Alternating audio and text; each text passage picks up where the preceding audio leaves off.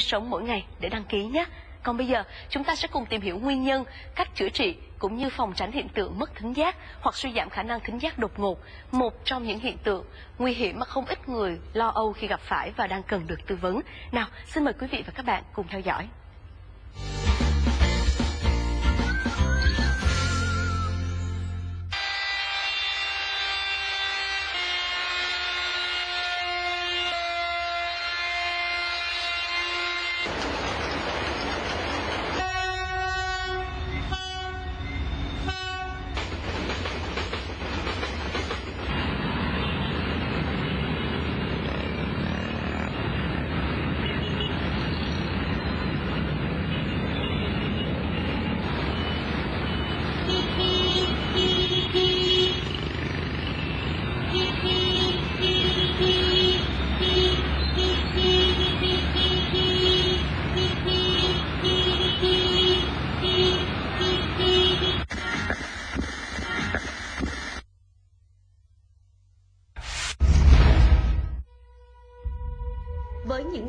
Bẩm sinh, vì không cảm nhận âm thanh trong cuộc sống hàng ngày có thể xem là chuyện bình thường với họ. Nhưng với những người đang nghe bình thường, tự nhiên một ngày không còn nghe thấy gì, không còn cảm nhận được âm thanh của cuộc sống, thì có lẽ đó thực sự là một cú sốc tâm lý đối với họ. Tuy nhiên bạn có biết, trung bình cứ khoảng 5.000 người sẽ có một người bị chứng điếc đột ngột. Bệnh không có triệu chứng báo trước, có đến 55% trường hợp điếc đột ngột nằm ở độ tuổi từ 15 đến 45. Số bệnh nhân nam và bệnh nhân nữ bị điếc đột ngột ngang bằng nhau. Dù phát hiện và điều trị sớm, bệnh nhân vẫn không phục hồi được hoàn toàn 100% thính lực mà vẫn để lại di chứng. Bệnh có dấu hiệu gia tăng trong những năm gần đây. À, điếc đột ngột thì hiện nay cái tình hình điếc bệnh thì càng càng ngày càng tăng lên. À, đến bệnh viện khám thì số lượng ờ, một tháng trong thời gian cao điểm có thể trên 100 bệnh nhân một tháng. Thì ờ, cái nguyên nhân chính xác thì mình chưa có một cái thống kê rõ ràng. À, tuy nhiên về số lượng thì rõ ràng là đã tăng lên rất nhiều so với cách đây 5 năm 10 năm. Uhm, khi mà hỏi bệnh sử thì à, thì thường là ở những cái lứa tuổi là bệnh nhân khoảng khoảng tuổi trung niên tức là đang tuổi đi làm và khỏe mạnh và trước đó thì bệnh nhân có những cái căng thẳng lo lắng hoặc là à, làm việc quá sức. À, hoặc là bệnh nhân có một cái bệnh lý nội khoa đi kèm mà điều chỉnh chưa được có à, chưa được hoàn toàn. Ví dụ như bệnh tiểu đường cao huyết áp những bệnh lý à, về tim mạch hay những bệnh lý nội khoa khác. À, do cái cái nếp sống hiện nay thì à, có thể do cái môi trường sống căng thẳng và à, ăn uống không điều độ hoặc là mình sinh hoạt không có điều độ do vậy mà bệnh thì càng càng ngày càng tăng lên Nguyên nhân của bệnh điếc đột ngột rất phức tạp và chưa rõ ràng. Chỉ có 10 đến 15% bệnh nhân bị điếc đột ngột biết mình bị điếc do nguyên nhân gì. Tuy nhiên một số nguyên nhân thường gặp là bệnh nhân phải chịu tác động thường xuyên của tiếng ồn hoặc kích thích âm thanh quá lớn, tình trạng thay đổi áp lực trong tai quá đột ngột, hoặc bắt nguồn từ nhiễm siêu vi như bệnh quai bị, zona, cúm, sởi vân vân, làm tổn thương tế bào thần kinh ốc tai, hoặc do những bệnh về mạch máu, do co thắt mạch máu cục bộ, nghẽn tắc mạch máu, máu tới nuôi dưỡng tai thiếu, nên bị tổn thương những tế bào thần kinh thính giác, thường xảy ra ở người cao huyết áp, sơ vữa động mạch. Một nguyên nhân nữa cũng rất thường gặp trong cuộc sống ngày nay là do thần kinh bị kích thích, như làm việc quá căng thẳng, stress hay do bệnh nội khoa, tiểu đường, sơ vữa tĩnh mạch vân vân. Hôm đó sáng ra mình thức dậy mình đi xe, mình lái xe từ Cần Thơ lên Sài Gòn lúc đó 3 giờ sáng. Mình thức dậy bình thường lắm, không có nói chung là nó không có gì xảy ra chứ. Trên đường chạy về cái đầu nó ù. Như là tiếng ga vô mà bắt nó không vô đài, nó làm xè xè xè xè trong lỗ tai, tới 5 giờ chiều là không nghe luôn. Mình vừa mới dừng xe trước cửa nhà bạn mình, thì mình nghe một cái tiếng giống y là một cái tờ giấy nó quẹt ngang tai. Thì lúc đó thì cái tiếng ù, nó ù luôn. Nó ù và không nghe được cái gì cả, bị bên tay trái.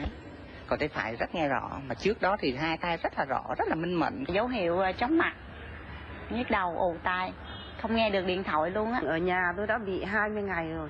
Cái khi khám thì bác sĩ nói là đã hơi trễ thời gian hơi trễ nhưng mà thuốc còn nước còn tát cho nên tôi cứ xin nhập viện để điều trị. Lúc mà tôi vô thì bác sĩ ờ, khám thì nói là tôi bị ờ, điếc độ 4 bác sĩ bảo là mình là điếc một bên tai. Bác sĩ đo là nói là độ độ ba. Khi vô bệnh viện rồi thì mình mới biết rằng là cái bệnh này của mình nó rất là nghiêm trọng nếu mình không điều trị trong vòng một tuần theo bác sĩ trả lời mình á nếu không trong không chuyên trị một tuần đầu tiên mà mình không- có đi tới bác sĩ liền á thì nó sẽ khó điều trị. Nghe bác sĩ nói rất giàu, mà thật sự nếu mà cái điếc này là nó ảnh hưởng tới rất là nhiều ảnh hưởng về công việc rồi về cái tinh thần rồi về cái ờ, cái việc làm ăn luôn. Tại mình không suy nghĩ được mình quên hết trơn à mình không nhớ nổi đâu. Mình không có tính được. Giống như người ta nói thì mình giống như đơ đơ đơ đơ.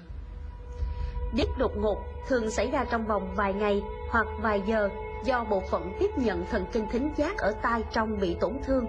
Cũng có khi sau một đêm ngủ dậy, bệnh nhân không còn nghe được âm thanh, tiếng ồn. Tuy nhiên, trong nhiều trường hợp, bệnh nhân thường chủ quan rằng tai sẽ bình phục bình thường khi thấy có dấu hiệu giảm nhẹ sức nghe. Vì vậy, nhiều bệnh nhân đã bỏ mất cơ hội điều trị tốt nhất cho mình. Thời gian tốt nhất để điều trị điếc đột ngột lý tưởng là từ 24 đến 48 tiếng kể từ khi mắc bệnh. Nếu đến bệnh viện thăm khám trước 7 ngày thì có tới 85,19% trường hợp phục hồi được chức năng nghe. Nhưng nếu sau 7 ngày, tỷ lệ thành công chỉ còn 7,14%, còn đa số bị di chứng điếc vĩnh viễn. Đây là bệnh nhân nữ 33 tuổi quê ở Vĩnh Long. Chị nhập viện trong tình trạng điếc nặng tay trái cấp độ 4. Sau khi nhập viện và điều trị tích cực tại khoa tai đầu mặt cổ, theo liệu trình truyền thuốc giãn tĩnh mạch kết hợp với công ty của f liều cao để giúp tăng tuần hoàn máu và oxy lên não, lên tai, chống phù nề và nuôi dưỡng tai. Hiện tại, tính giác của chị đã được cải thiện đáng kể, từ mức độ 4 xuống còn mức độ 2. Bác sĩ điều trị cho biết chị có thể sẽ được xuất viện trong vài ngày tới. À, cái lúc đầu thì ở nhà ngày đầu tiên thì nó ù lỗ tai. Rồi ngày hôm sau thì thích nghi không được á. Rồi sợ như là hít nghi không được rồi xỉu. Xỉu rồi ở nhà nằm tới ngày thứ tư mới đưa lên đây. Đưa lên đây thì bác sĩ nói là điếc đột ngột kia đó. Thì trong lòng cũng lo lắm. Lo càng lo thì lỗ tai nó càng ù nó càng không nghe tiếp. Nên mấy ngày điều trị tôi thấy cảm thấy nó bớt thì lỗ tai nó bớt đầy lỗ tai rồi tiếng u u ở trong nó cũng nhỏ trở lại bác sĩ nói mấy ngày nữa nhập xuất viện á thấy trong lòng thì nó cũng nhẹ bớt lo Không may mắn như chị Thúy, chú Nguyễn Hân Nguyên, 58 tuổi, ở Phú Yên, hiện cũng đã nhập viện và điều trị tại khoa tai đầu mặt cổ, bệnh viện tai mũi họng thành phố Hồ Chí Minh được 4 ngày. Tuy nhiên vì lý do nhập viện quá trễ, tức là sau 3 tuần khi bắt đầu có triệu chứng tiết đột ngột, và tay trái của chú ở tình trạng bị điếc sâu. Vì vậy, các bác sĩ tiên lượng khả năng bình phục của chú rất kém và có khả năng phải đeo máy trợ thính suốt đời. À, tự nhiên là nó bùng o o o o là điếc luôn không nghe gì luôn à, nhập viện đây được 4 ngày rồi nhưng mà cảm giác nghe thì chưa có chiều nay là đi ờ, đo thính lực lại Bệnh nhân lý đột ngột thì thường ờ, là sẽ có những cái triệu chứng ù tai, à, có thể kèm chóng mặt hoặc là cảm giác ừ, ngủ dậy đột nhiên không nghe một bên hoặc là hai bên. Thì ờ, thường là những à, bệnh nhân cũng có thể bỏ qua. Thì thường là mình nên nhập viện à, để mình đến khám tại bệnh viện để được khám và được đo thính lực. Thì à, sau khi đo thính lực thì nếu phát hiện thấy bệnh nhân bị điếc một bên hoặc hai bên à, và à, do nguyên nhân là điếc thần kinh à, không có những cái bệnh lý viêm tai giữa hoặc là những bệnh lý khác đi kèm thì những bệnh nhân này sẽ phải được nhập viện để điều trị thì thời gian nhập, nhập viện điều trị thường là từ 10 ngày đến 2 tuần thì à, trong thời gian điều trị thì bệnh nhân sẽ được à, sử dụng các à, thuốc kháng viêm giãn mạch hoặc là sử dụng những cái biện pháp tăng cường như là thở oxy qua áp. Thì những bệnh nhân mà điều đến càng sớm thì cái tiên lượng điều trị càng tốt. Tức là nếu bệnh nhân đến à, trong vòng 3 ngày đầu thì à, cái tiên lượng điều trị sẽ tốt hơn và những bệnh nhân mà không có những cái bệnh lý nội khoa đi kèm ví dụ như bệnh cao huyết áp tiểu đường hay là lớn tuổi thì cái tiên lượng bệnh nó à, sẽ tốt hơn. Còn nếu có bệnh lý đi kèm hoặc là những bệnh nhân lớn tuổi hay là đi kèm những cái à, triệu chứng nặng hơn ví dụ như chóng mặt hay là những bệnh lý khác thì những bệnh nhân này cái tiên lượng bệnh sẽ kém hơn. À, khi điều trị thì sau thời gian điều trị à, bằng phác đồ ở thời gian tối đa là từ 10 ngày đến 2 tuần thì bệnh nhân xuất viện. Thì tùy theo cái mức độ mà à, điếc thì bệnh nhân sẽ có những cái biện pháp xử trí tiếp theo. Thì điếc đột ngột nếu mà điều trị không được hoàn toàn thì sau đó bệnh nhân à, có thể phải sử dụng máy trợ thính hoặc là nặng hơn nữa. Nếu bệnh nhân ừ, điếc hoàn toàn thì cần phải được hỗ trợ bằng phương pháp ma cái điện cực ốc tai tức là những phương pháp hiện đại nhất và à, đắt tiền hơn. Bên cạnh những bệnh nhân bị điếc lần thứ nhất, vẫn có không ít bệnh nhân chủ quan, không có những biện pháp phòng ngừa bệnh tái phát, nên rất nhiều bệnh nhân đã phải quay trở lại bệnh viện để điều trị căn bệnh này lần thứ hai. Hiện vẫn chưa có con số thống kê cụ thể, bệnh nhân tái phát bệnh chiếm tỷ lệ bao nhiêu phần trăm số bệnh nhân đến khám và nhập viện tại bệnh viện tai mũi họng. Tuy nhiên, việc điều trị khi bệnh điếc đột ngột tái phát thường phức tạp hơn và khả năng phục hồi thính lực thường rất kém. Đối với những bệnh nhân điếc đột ngột thông thường thì tổng trạng bệnh nhân rất tốt. À, bệnh nhân chỉ bị nghe kém ở tai thôi, do đó cũng không cần những cái chăm sóc đặc biệt gì khác. À, khi bệnh nhân đã bị điếc đột ngột một lần rồi thì có sẽ rất có nhiều khả năng bệnh nhân sẽ bị điếc đột ngột lần thứ hai, lần thứ ba do những cái nguyên nhân gây bệnh vẫn còn tồn tại. Ví dụ như là bệnh nhân bị stress, căng thẳng kéo dài, không giải quyết được hoặc là những bệnh nhân do tính chất công việc phải tiếp xúc với tiếng ồn nhiều khi mà bệnh nhân đã bị điếc đột ngột. Lần thứ hai rồi thì khả năng điều trị hồi phục là sẽ kém hơn rất nhiều.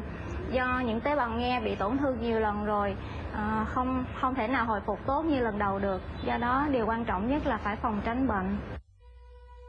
Có đến hơn 85% bệnh nhân bị điếc đột ngột có thể phục hồi được khả năng nghe nếu được thăm khám và điều trị trong vòng 7 ngày khi có dấu hiệu của bệnh vì thế, khi có những dấu hiệu sau đây, bệnh nhân cần đến ngay chuyên khoa tai mũi họng để thăm khám.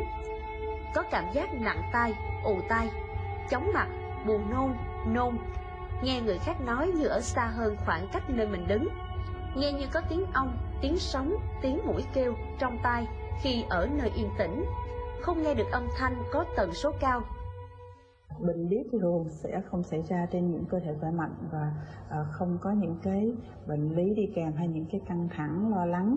Thì như vậy thì uh, cái việc giữ cho mình có một cái sức khỏe uh, được à, khỏe mạnh và cái một cái nếp sinh hoạt điều độ không có quá căng thẳng lo lắng và không sử dụng quá nhiều quá chất hay là tiếp xúc với những yếu tố độc hại như là cái âm thanh quá lớn. Và những bệnh nhân mà có nguy cơ mắc bệnh cao là những cái bệnh nhân mà có bệnh lý nội khoa tiềm tàng ví dụ như bệnh tiểu đường cao huyết áp hay những bệnh lý nội khoa nặng khác. À, thì cần phải chú ý là cái bệnh của mình cần phải được điều trị cho tốt. Và tránh những cái yếu tố lo lắng buồn muộn và tránh những cái chấn thương âm thanh. À, những cái việc đó nó sẽ giúp cho à, phòng ngừa cho cái việc đứt đoạn một xảy ra.